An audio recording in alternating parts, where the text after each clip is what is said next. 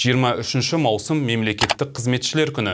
Мемлекеттік аппарат еліміздің басты қызмет саласы, ал мемлекеттік қызметші ел саясатын жүзеге асырудағы жауапты құрылым өкілдері. Мемлекеттік қызметшілердің кәсіби мерекесіне орай қалалық әкімшілікте салтанатты жиын марапаттау рәсімі өтті. Толығырақ тілші әңгімесінде. 23 маусымды Қазақстанда мемлекеттік қызметші күні деп бекіту 2014 жылдан бастау алды. Ісіне аса жауапты, талап тәртіпке мығым, әдептен озбай, оғашқылық көрсетпей жүктелген міндетті жүйелі атқаруы тиіс. Құрылым өкілдері осымен 8 жыл 23 маусым күні кәсіби мерекелерін атап өтуде. Бүгін таңда елімізде 800 мыңнан астам қызметкер мемлекеттік аппаратта іскерлік етуде. Бұл санатта біздің облыстың қаламыздың мемлекеттік қызметкерлер құрамы да бірталай. Қалалық әкімшілікте өткен салтанатты жиында мемлекеттік қызметшінің маңызды еңбегі жалпы кейінгі жылдары кәсіби білікті мемлекеттік аппаратты құру бағытындағы істер баяндалды. Құттықтау лебіз де жолданды. Ұлт мәртебесін көтеретін ел абыройын асқақтататын мемлекеттік қызметші болу мәртебелі міндет дана халқымызда билігі мықты елдің тірлігі мықты болады деген нақыл сөз бар.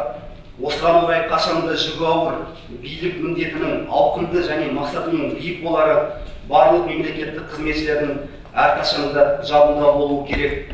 Осы орайда тәуелсіздігіміздің тұғырлы егемендігіміздің мәңгілік болу жолында атқарудағы еңбектеріңіз үшін алғыс білдіремін әдеп кеңесінің төрағасы қоғам қазіргі заманда мемлекеттік қызметшілерден олардың біліктілігімен қатар адалдығын адамгершілігін және әдептілігін талап етеді деді. Осы ретте қоғам мен азаматтардың сенімін туғызу әрбір мемлекеттік қызметкердің міндеті. Осы міндетті абыроймен атқарып жүрген қызметшілерге жиын барысында марапат ұсынылды. Қарағанды қаласы әкім аппаратының басшысы сандуғаш сәбетқызына үздік мемлекеттік қызметші төс белгісі табыс етілді.